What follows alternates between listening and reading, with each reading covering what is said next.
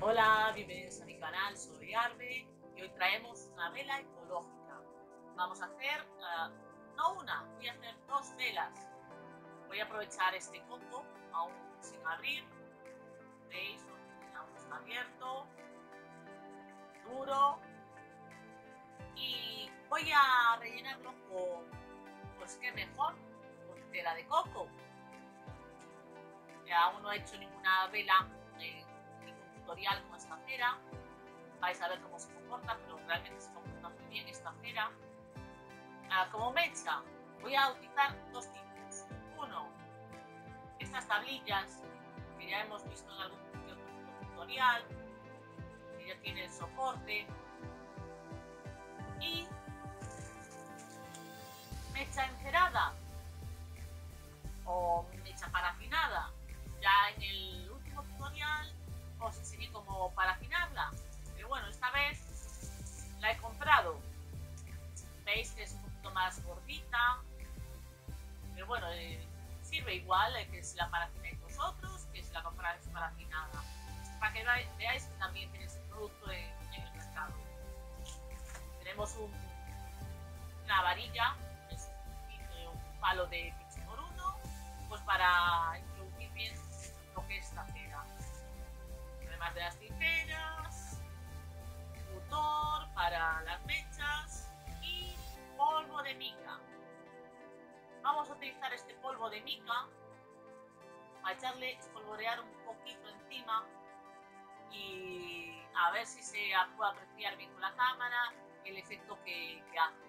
Realmente queda muy bonito, queda brillante.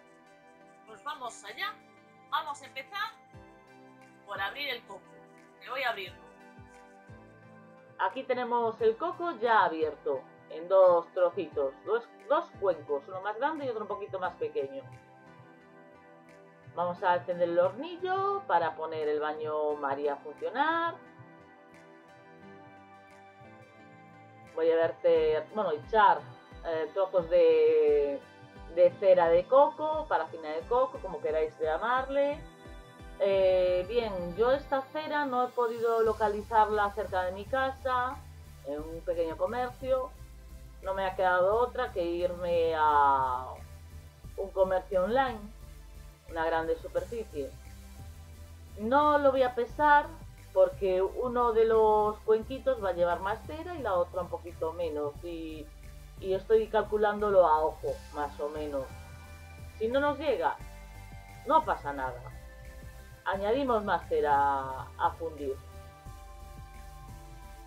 Estoy aprovechando pequeños trocitos que quedan.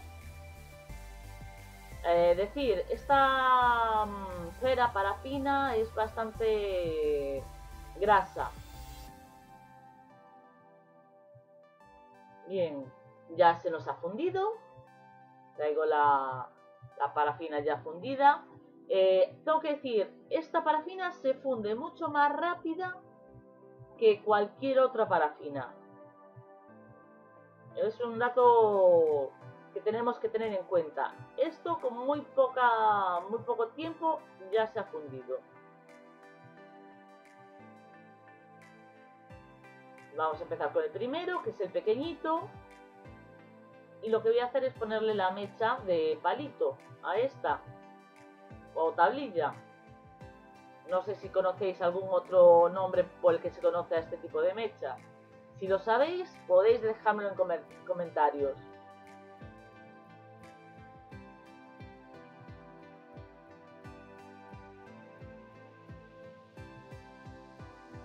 Bueno, eh, ya veis, he tirado en este vídeo un poquito más por la ecología,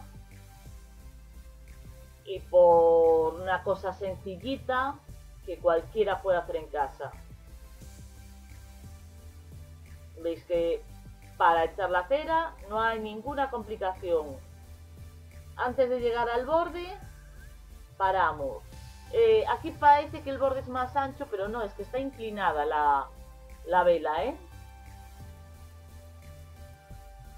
Bien, voy a coger un, un soporte, este es un soporte, es una anilla de, madera, podéis encontrarlo en tiendas de manualidades o incluso en alguna mm, mercería, como complemento para, colgar las cortinas. Y yo lo utilizo de base para los recipientes de coco. Bien, a este no le ponemos a la mecha, vamos a verter la cera primero. Y voy a ser un poquito más generosa con el, con el anterior. De todas formas estoy viendo que me va a sobrar cera, ¿eh?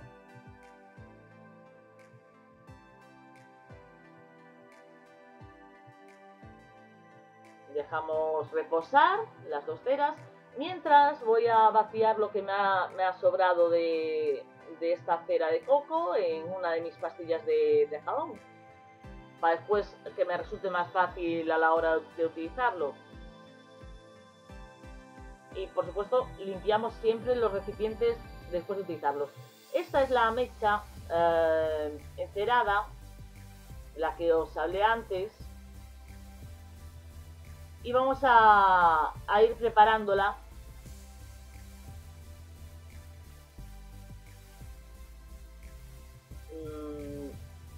veis que es un poquito más gruesa que el resto, se mantiene firme. Buena calidad, tengo que decir. Y voy a tomar la medida de, del, coco. Bueno, se me estaba moviendo un poquito la tablilla, la he puesto bien.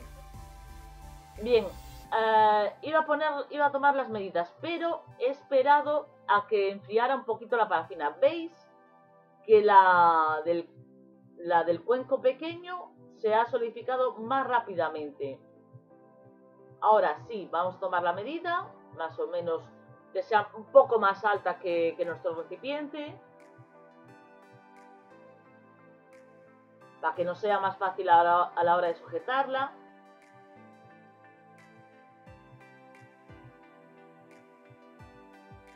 Y bueno, tenía estos tutores de mecha, pero lógicamente aquí se me resbalan y no puedo utilizarlos de esta manera.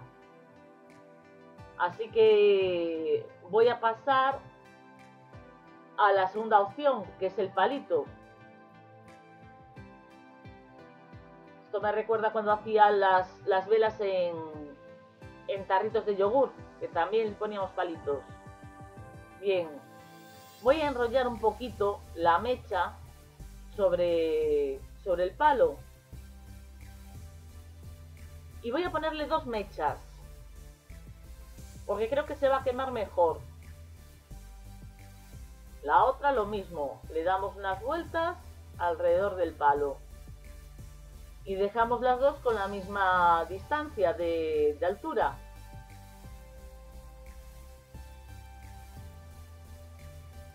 apretamos un poquito y ahora con cuidado ajustamos, las acercamos un poquito las, las mechas, que nos queden un poquito centradas y como por un lado se me va a caer el palito, pues voy a aprovechar un tutor de, de mechas para que para sujetarlo, ¿veis? Se me cae.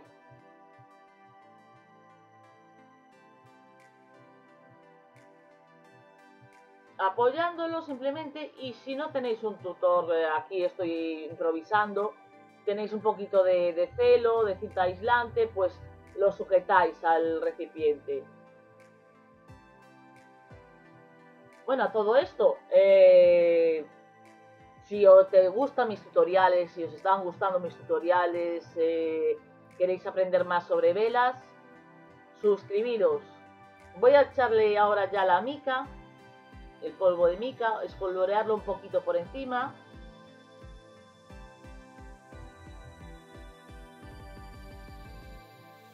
Se puede apreciar un poquito.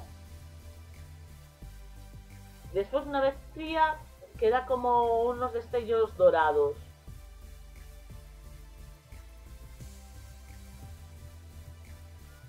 No os paséis echando mica, echar eh, ir poquito a poco hasta encontrar como más os guste. Ahora con un pincho normal, pincho normal que solo sujetar las mechas, pues le doy unas cuantas vueltas para que se me distribuya más uniformemente sobre la superficie de la vela. Bueno, y como iba diciendo antes, si aún no estás suscrito, suscríbete. si te gustan mis vídeos o te gusta este vídeo, pulgar para arriba, darle al like para los algoritmos y vamos a ver cómo acaban estas velas. Ya veis que sigo removiendo aquí. Porque quiero encontrarle el punto exacto. Bien. Ya se han solidificado las dos, las dos velas. He de decir que han tardado más de lo habitual. Han tardado en secarse, en solidificarse unas cuantas horas. O sea que tener paciencia, si parece que no se solidifica. Eh, he cortado el exceso de la tablilla, ya veis con la tijera se corta perfectamente. Y este es el resultado. Vamos a encender la, la vela pequeña con la tablilla. Y bueno, muchas gracias por, por estar ahí, por verme. Espero que os haya gustado el tutorial. Si tenéis alguna duda, dejármela en los comentarios. Muchas gracias por verme.